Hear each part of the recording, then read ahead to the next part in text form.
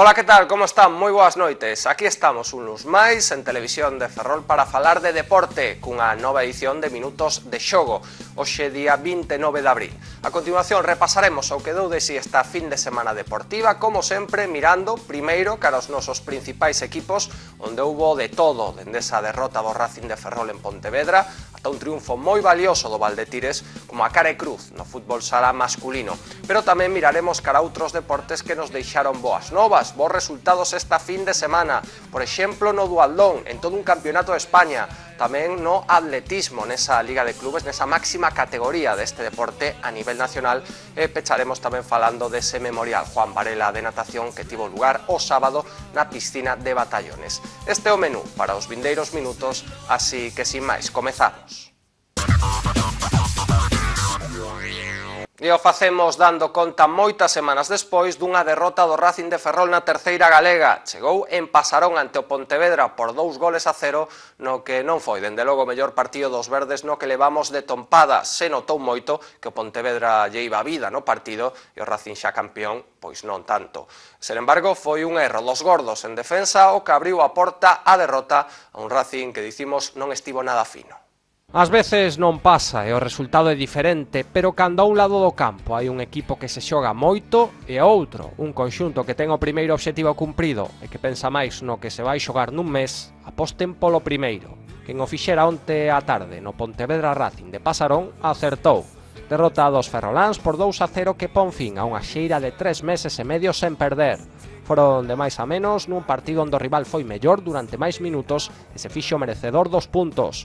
Por momentos se vio un Racing pouco metido en faena sen a intención de dar o 100% o pouco que a cousa se complicase.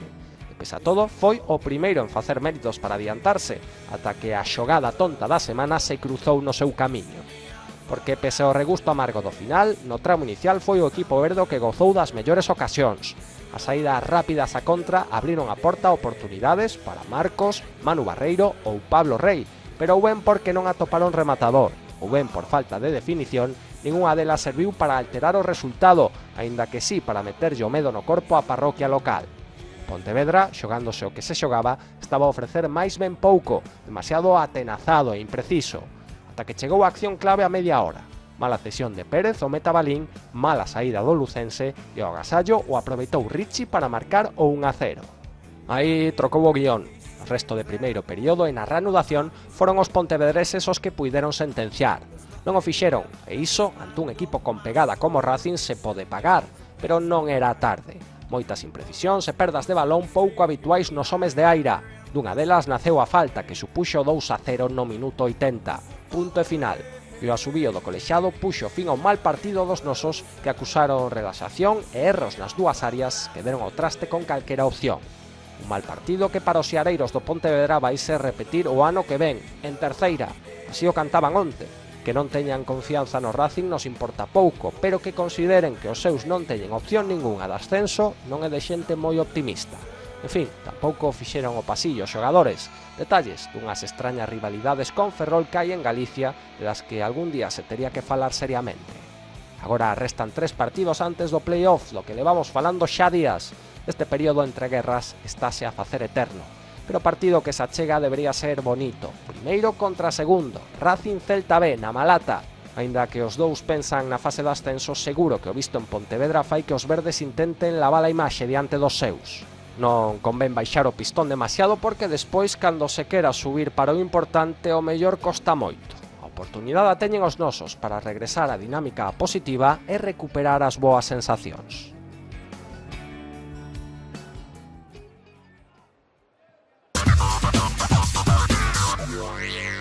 Deixamos o balón apartado por un sintre, seguimos cara á piscina para despedir unha nova edición do Memorial Juan Varela de Natación, que tivo lugar o sábado a mañá e a tarde na piscina de Batallones. Como saben, clásico torneo organizado polo Marina Ferrol en colaboración co Concello da Cidade e que un ano máis deixou un gran sabor de boca a todos os presentes, tanto a nivel participativo como de competición xa na auga.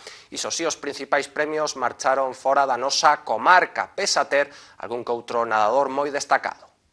Dende fai máis de tres décadas, o Marina Ferrol pon en marcha unha xornada con dous obxectivos. Primeiro, homenaxear a memoria do nadador Juan Varela, falecido nun accidente de tráfico. O segundo, facendo do mellor xeito posible, cun torneo internacional que achega a nosa cidade a gran parte do mellor da natación galega, xunto con deportistas de Portugal ou doutros puntos de España. No programa do Benre xa falamos da previa dos máis de 300 nadadores, dos 16 clubes representados e de quenes poderían ser os favoritos tanto na clasificación individual como na de equipos. Oxo que toca falar deses resultados, ver algunha das imaxes que deixou a intensa xornada do sábado entre a néboa do vapor da piscina. Moitas probas que se sucederon todo o día e que deixaron a un gañador, o pabillón ourense, que xuntando resultados dos seus, sumou 543,5 puntos, Detrás, máis cor galego, gracias ao Natación Coruña con 508 e o Cidade de Santiago. Os nosos, o Marina finalizou séptimo e o Náutico de Narón algo máis retrasado décimo primeiro. O traballo do equipo foi o froito do traballo individual, que tamén se premia neste Juan Varela. No cadro masculino a piques estivemos de ter a un nadador local no máis alto. Lorenzo Ortiz, do Náutico de Narón, foi segundo por detrás do gañador Óscar Alonso do Santiago e por diante do portugués do vilacondense Enrique Neiva.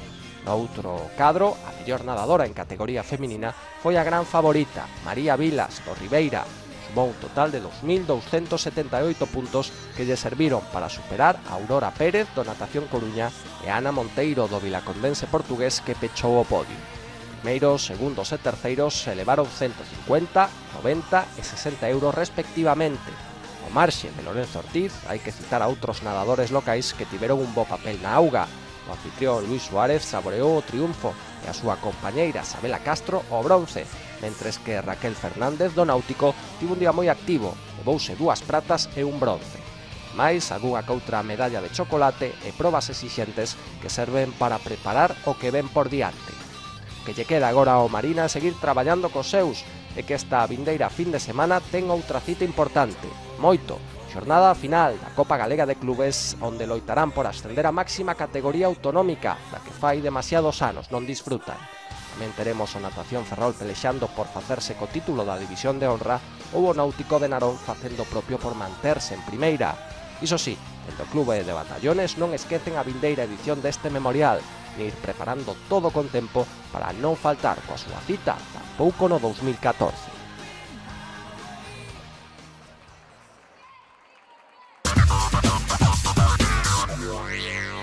Nos metemos xa de cheo no mundo do fútbol sala porque foi unha gran xornada para o fútbol sala feminino local. Dous paxaros dun tiro. Primeiro, triunfo do Valdetiras Ferrol, 5 a 3 ante o Cuatro Arcos de Logroño. Unha victoria que deixou moi satisfeitas as nosas que se afianzan no liberato. Pero tamén o comarcal a Fervenza, que esta xornada descansaba, pero que a Rioxana son o seu principal rival para evitar o descenso.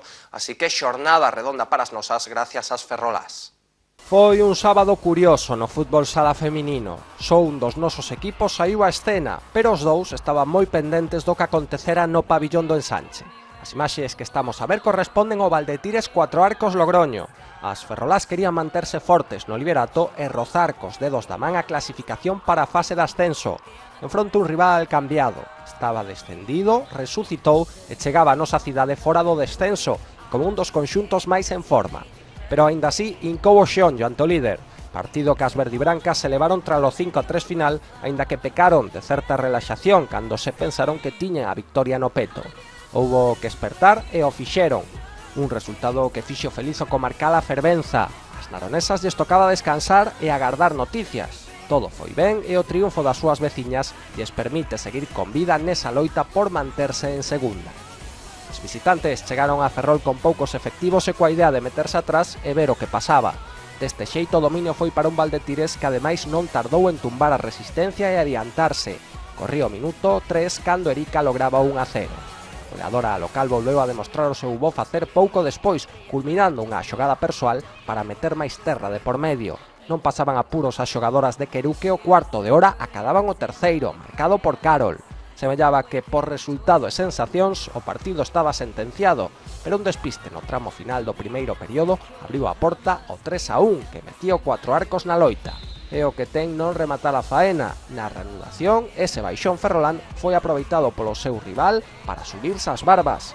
Non tardaron moito en converter o 3 a 2 e no minuto 32 lograron empatar a 3. Entón saltaron as alarmas no Valdetires que deixou a un lado a relaxación e se puxa as pilas de novo tempo tiñan por diante para facelo. Recuperaron a iniciativa e volveron dispoñer de ocasións claras. María aproveitou unha delas para adiantar as verdibrancas. Cuatro arcos colocou porteira a xogadora e buscou a igualada. Tivo unha oportunidade, pero no último minuto Andrea daba tranquilidade absoluta a Parroquia Ferrolá, marcando 5 a 3 e confirmando unha victoria moi necesaria que deixa o primeiro posto case case feito. Quedan dous partidos para o remate da Liga, e un só triunfo daría matemáticamente o campeonato Valdetires. Este podería chegar na vindeira xornada na visita que terán que facer ao calzatense rioxano, o que pouco lleva no choque. Pero queda prohibido calquer tipo de relaxación. Foi algo que o sábado quedou moi claro. Por abaixo, miniliga de dous encontros para o comarcal a fervenza que está a dous puntos da salvación. Non depende delas, pero teñen que facer os seus deberes, como é superar Ordicia nuns días en Ferrol, As vascas son moi fortes están en plena pelea pola fase de ascenso. Será unha fin de semana intensa, actividade nas pistas e nos transistores.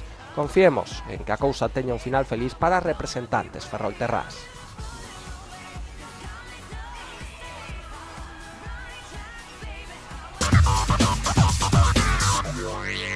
Non foi tamén a cousa no fútbol sala masculino. O Parrulo xogaba unha desas finais anticipadas na pista do líder e campeón do grupo, o Noia. Os nosos necesitaban os tres puntos para seguir con moitas opcións de xogar a fase de ascenso como un dos mellores segundos, pero regresaron ata casa sin ningún. E iso que dominaron durante moitos minutos no xogo e no marcador, pero unha mala recta final condenou os de Mario Cabo. As contas do Parrulo para estar outra tempada máis loitando polo ascenso pasaban por sumar os puntos en Noia. Doado non ia ser. Enfronte o líder e campeón do grupo diante dos seus afeccionados, ademais. Pero a eles non lle ia nada en xogo, mentres que os ferrolanses xogaban moitas das súas opcións.